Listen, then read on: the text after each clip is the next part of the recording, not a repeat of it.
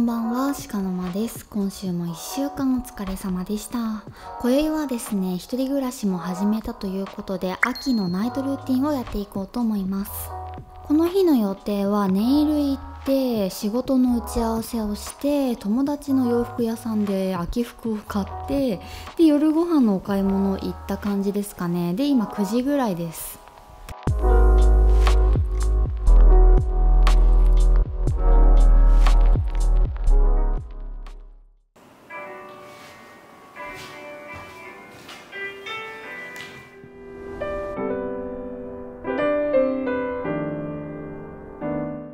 今からね軽く夜ご飯作ろうと思うんですけどだいたいご飯作る時音楽流してないと乗れないので秋はしんみりとした曲が聴きたくなるので最近はクラッシュさんの「フォール」を聴いてます。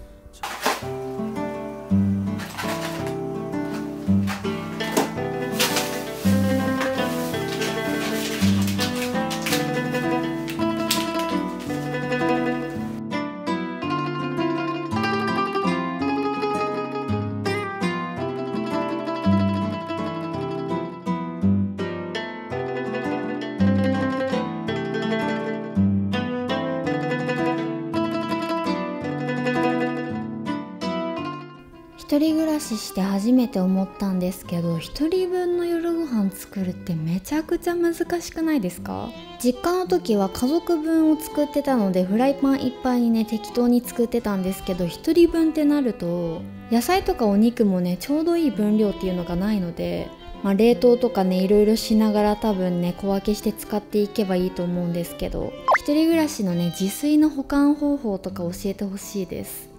なぜかいつもね多く作りすぎちゃうので次の日のお昼ご飯に丼にして食べたりするんですけどこの日の夜ご飯は味噌汁と麻婆茄子です。ほんとクックドゥしか勝たん。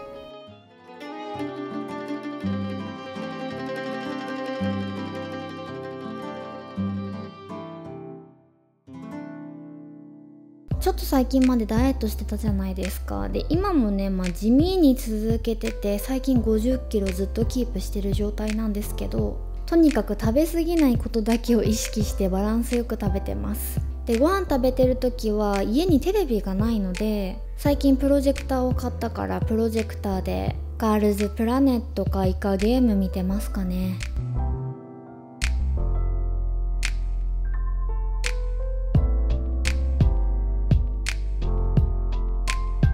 なんとちょっとだけご飯をおかわりしました。麻婆豆腐とかさ麻婆ナスって絶対に丼にしたいんですよね。なのでちょっと本当にねあのご飯があればある分だけ食べちゃう私の悪い癖なので今後気をつけます。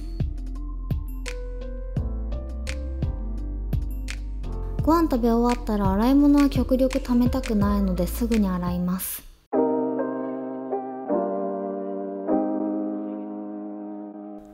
きからちょこちょこ映ってるこの鹿のライト可愛くないですか？充電式なので本当にコードとかもないし電池変えないといけないとかもないのですごい便利なんですよ。最近ね Twitter かなんかでひよこかなんかのライトがバズっててそれ買おうかなと思って調べてたら鹿が出てきたので私はこっちの鹿を買いました。プラスチックじゃなくってねすごい柔らかいボディでねすごい癒されます。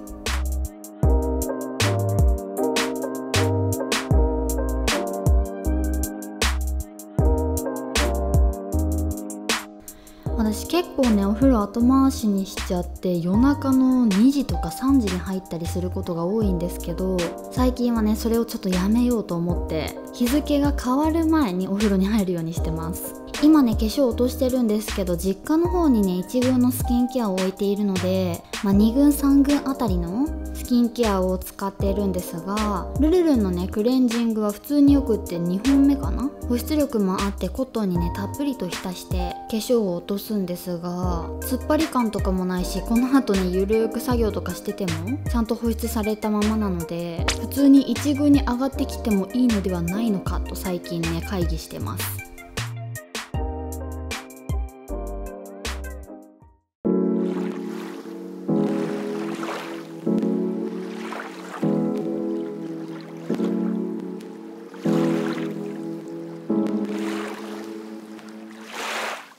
最近ですねクナイプのバスミルクコットンミルクの香りを買ってからですね泡風呂にはまってます。毎日はしてないんですけどまあ余裕がある時だったり疲れてる時癒されたい時とかはねよくやってますね。結構バスソルトとかバスミルクこだわっててまあ結構クナイプが多いんですけど長い時だとお風呂ほんと1時間ぐらい使ってる時あります。まあ、これからねどんどん寒くなってきて湯船に浸かる日も増えてくると思いますがまた冬バージョンとかもね発信したいなと思います。あとお風呂に入る時は水をね絶対に持ち歩くようにしてます。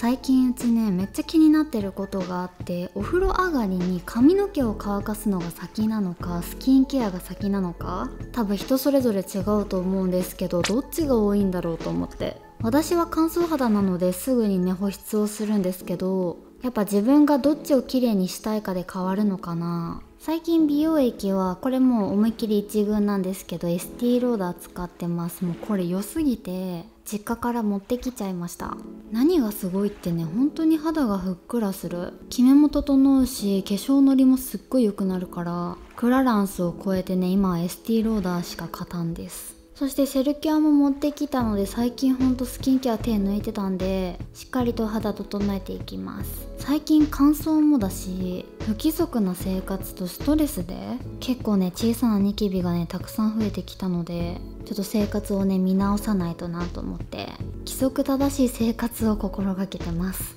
いつも言ってる気がするこれ。で美容液と化粧水がしっかり浸透するのを待ってる間に髪の毛乾かしていきます。れ私のお気に入りのパンテンの洗い流さないトリートメントです。なんかこの間の動画でさ全然プッシュしても出てこんって言おったんやけど視聴者さんにねなんかやり方を教えてもらったらねしっかり出てきました。で一人暮らしのお家の方で使ってるドライヤーはサロニアです。安いのにしっかりと風も強いし綺麗に乾くのでめちゃくちゃお気に入りです。で歯磨きしてるんですけど今ここで今日保湿クリームこれ使ったよって言ってます。T プログラムの新しく登場したスキンリペアクリームですね。これニキビがねできそうな時とかニキビ予備軍見つかった時これを塗るとねニキビがさーって引くような感じがして最近マジで欠かせないクリーム。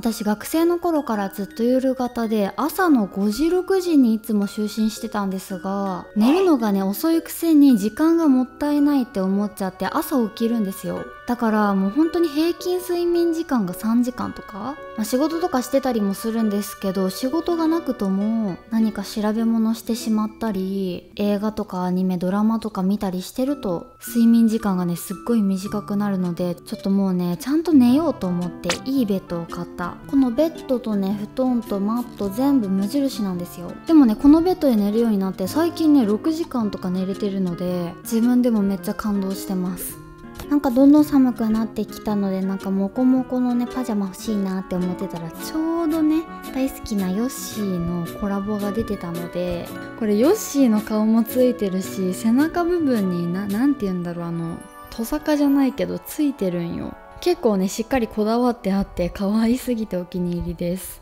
最近ボディケアはラリンの幸福が訪れますようにという思いがね込められたベストウィッシュっていう限定の再リリースされたボディシリーズを使ってます。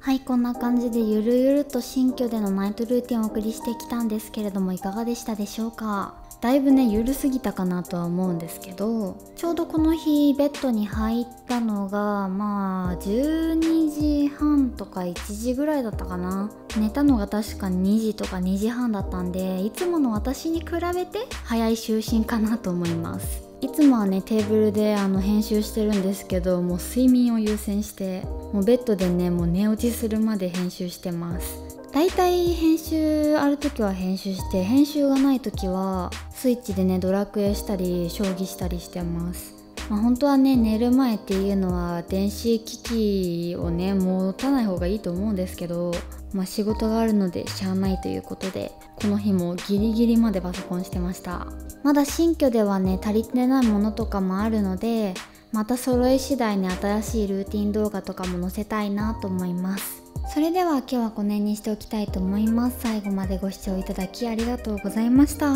それでは次回の動画で会いましょう。おやすみなさい。